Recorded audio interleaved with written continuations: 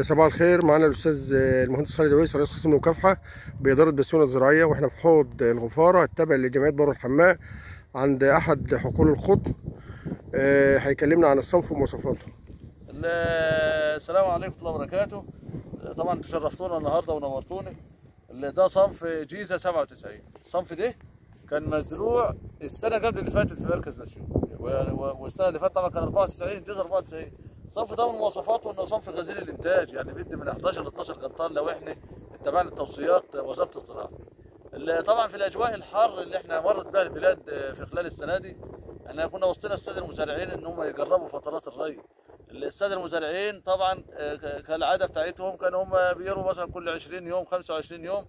فإحنا نبهناهم وقلنا لهم توصيات وزاره الزراعة إن أنت تقلل فترات الري مثلا من 10 ل 12 آه، يوم بين الريه والأخرى يعني. طب وهو معاد الزراعة كان مؤثر في الانتاجية يا أستاذ خالد والله بالنسبة طبعا إحنا آه، الصنف ده يعتبر صنف متأخر شهر يعني وزارة الزراعة آه، فحسب على حسب مواصفات الصنف إن هو ده الصنف ده بيتزرع بعد محصول القمح.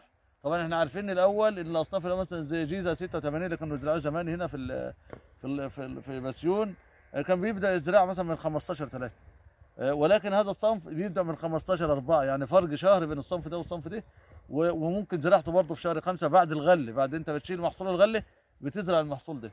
ولكن في توصيات معينة توصيات معينة بحيث إن انت لو مشيت تبع التوصيات دي بتجيب أعلى إنتاج بتجيب طيب. توصل 11 قنطار في في الفدان يعني. طب أهم الآفات اللي أثرت على إنتاجية ال- ال- القطن السنة دي إيه؟ والله إحنا طبعا في آه، في آفة كانت تعتبر آفة بسيطة خالص اللي هو حشرة الجسي بالنسبة للسنين اللي فاتت.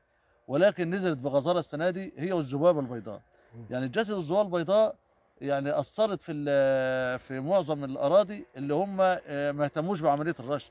ولكن هي هي هي حشرة بسيطة جدا آه، اللي هي الجاسيد لو أثرت على النمو الخضري فبالتالي أثرت أيوة، على النمو الثمري أيوه اللي أنت آه، لو أنت قومتها ورشيت المبيد المناسب ليه اللي بي بي بي خلاص بتتخلص منها وما تاثرش على الانتاج ولا ولذلك إحنا اهتمام المزارع بعملية الرش وعملية الري ده بيخليه يدي انتاج لأنه بيحافظ آه، على ال- المحصول الورقي اللي هو الأوراق بتاعت النبات. والأوراق زي ما إحنا عارفين حضراتكم تعتبر المصنع بتاع النبات. طب السياسة السعريه للصنف السنة دي إيه؟ والله حضرتك بالنسبة للأسعار طبعا إحنا بقالنا 3 4 سنين والمزارعين عارفين الكلام ده إن إحنا بنتبع موضوع المزاد يعني طبعا إحنا بنتجمع في الم... بنفتح مجمعات معينة السادة المزارعين بيتوجهوا للمجمعات دي وبيودوا القط وبعدين بيتم وزن القط وفرزه ويتم بعد كده المزاد بيحدد ميعاد المزاد.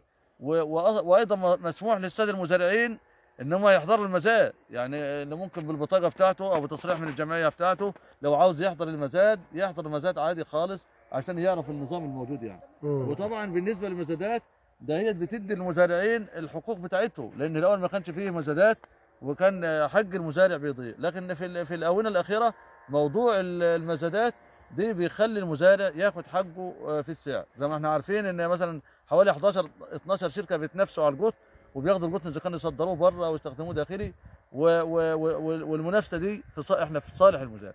إحنا بنشكر ال- الباشمهندس خالد على هذا اللقاء.